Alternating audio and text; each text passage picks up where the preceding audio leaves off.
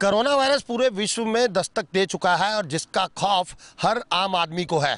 और बड़ी बात जो हम लेकर आ रहे हैं वो ये है कि कोरोना वायरस जैसी घातक बीमारी से लड़ने के लिए देश के प्रधानमंत्री नरेंद्र मोदी अपील कर चुके हैं लोगों से कि वो बाकायदा अपने अपने घरों के बाहर लक्ष्मण रेखा खींच लें, अपने घरों से बाहर ना निकलें और ज़रूरत की जो चीज़ें हैं, वो उनको घर तक ही मिले। इसको लेकर भी वो प्रदेश सरकारों से अपील कर चुके हैं कि वो ऐसे इंतज़ाम करें कि लोगों को राशन जैसी ज़रूरी चीज़ें उनके घर पर ही मिलें।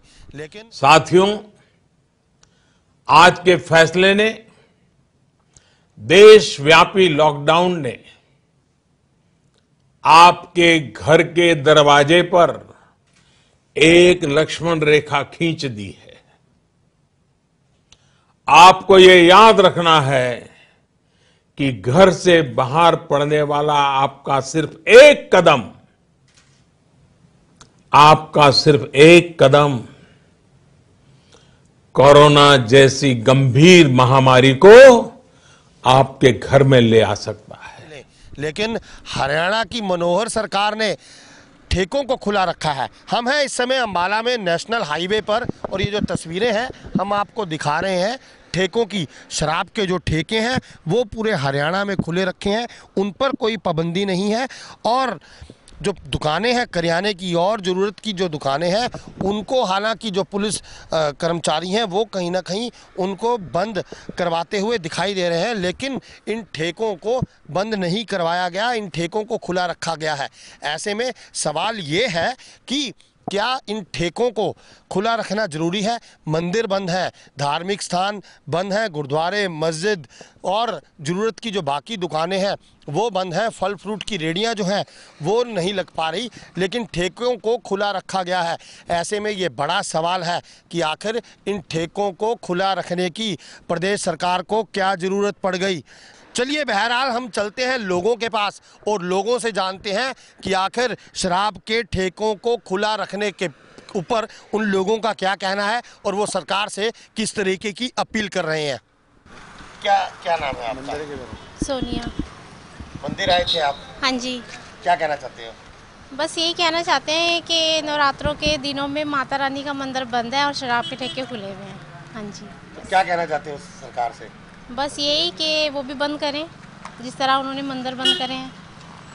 क्या नाम है जी आपका? मेरा नाम मंजू है जी। हाँ जी। हाँ जी मैं बाज़ार आई हुई थी यहाँ ठेका खुला हुआ है और राशन की दुकानें एक भी नहीं खुली हुई है। हमें राशन की बहुत ज़रूरत है शराब की ज़रूरत कोई है। क्या कहना चाहते हो सरकार को? सरकार को हम ये कहना चाहिए राशन की दुकानें खुलवाए। हमें राशन मिलना चाहिए। बाज़ार बंद है मंदिर बंद है। शराब के ठेके खुले हैं मेडिकल की दुकानें बंद करा देते हैं टाइम से। दुकानों पे काम नहीं है। क्या कहना चाहते हो सरकार? सरकार से अपील है कि थोड़ा टाइम दो खोलने के लिए सबको। दुकानें खुले लोग कमा रहे हैं खा रहे हैं कुछ खाएँ।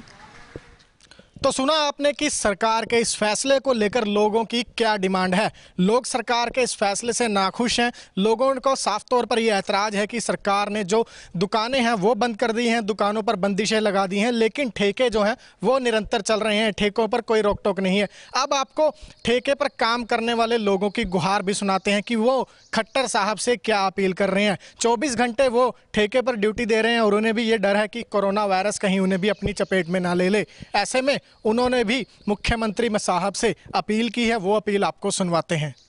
शराब के जो ठेके हैं ये आपने खुला रखा है महामारी फैली हुई है क्या कारण है? ये ठेकेदार खुलवा रहे हैं जी। ये गवर्नमेंट भी नहीं खट्टर साहब ने सब मार्केट बंद कर दी दुकानें बंद कर दी शराब की दुकानें नहीं बंद करी जी। क्यों? पता नहीं क्यों है हम हम भी तो इंसान हैं हमारे भी बीमारी लग सकती है दे किशराए कस्टमर आते हैं नोट में बारिश आ सकता है। हम परेशान हैं सरकार से। कहना चाहते हो खट्टर साहब से? खट्टर साहब से कहना चाहते हैं कि ये शराब की दुकानें नहीं बंद होनी चाहिए। हम भी अपने घर जाए बच्चों के पास चले जाएँगे। सौ किलोमीटर दूर से आए हुए हम भी। सरकार के फैसले से लोग नाखुश हैं और ठेकों पर ड्यूटी दे रहे लोग भी मुख्यमंत्री साहब से अपील कर रहे हैं कि वो ठेके बंद करवाएँ ताकि वो भी अपने घर बैठ सकें। लेकिन इस पूरे मामले पर हमने जब हरियाणा के गृह मंत्री अनिल विज से बात की तो वो भी ठेके बंद करवाने के पक्ष में नज़र आए। विज ने साफ़ तौर पर कहा है कि अगर अन्य चीज़ें बंद हैं तो ठेके भी बंद होने चाहिए। और क्या कुछ कहा अनिल विज ने? आइए आपको सुनवाते हैं। ये सब देखने में आया जिस तरीके से नरेंद्र मोदी ने कहा कि घर के बाहर लक्ष्मण रेखा खींच लें। और दूसरी तरफ़ हरियाणा में ठेके खुले हैं। नहीं मैंने अधिकारियों से बात की है। मुझे उम्मीद है जल्दी बंद हो जाएँगे। लेकिन ठेके एसेंशियल आइटम्स में भी नहीं है और नहीं अब मुझे इसकी जानकारी नहीं है लेकिन मैंने आज अधिकारियों से बात की है कि ठेके खुले हैं और बाकी चीज़ें बंद हैं तो इसलिए ठेकों को भी बंद करवाया जाए। लगता नहीं कहीं? सीधा प्रधानमंत्री के आदेशों की अवहेलना हो रही है। नहीं अब ये सारा मुझे मालूम नहीं है कि किसके आदेश से खुले हैं। तो सुना आपने कि खुद हरियाणा के गृह मंत्री अनिल विज जो है वो प्रदेश में ठेके खुले रखने के पक्ष में नहीं है। उन्होंने साफ़ तौर पर कहा है कि वो भी इस चीज़ के हक में नहीं है कि शराब के ठेके खुले रहें। ऐसे में बड़ा सवाल हम हरियाणा के मुख्यमंत्री के सामने और अपने दर्शकों के सामने यही खड़ा कर रहे हैं कि आखिर हरियाणा के मुख्यमंत्री मनोहर लाल खट्टर प्रदेश में जब सब कुछ बंद है लॉकडाउन है, पीएम मोदी लक्ष्मण रेखा की बात कर चुके हैं, उसके बावजूद मुख्यमंत्री शराब के ठेके क्यों खुले रखना चाहते हैं? आप अपनी राय हमें ज़रूर दीजिए, कमेंट करके। और मुख्यमंत्री के लिए जो हम ये बड़ा सवाल खड़ा कर रहे हैं, इस पर अपनी राय ज़रूर दीजिए। हम इसी तरह प्रदेश से जुड़ी और अम्बाला से जुड़ी हुई खबरें लेकर आपके सामने हाजिर होते रहेंगे। आप हमें देखते रहिए फेसबुक पेज पर और हमें यूट्यूब पर भी सब्सक्राइब कीजिए।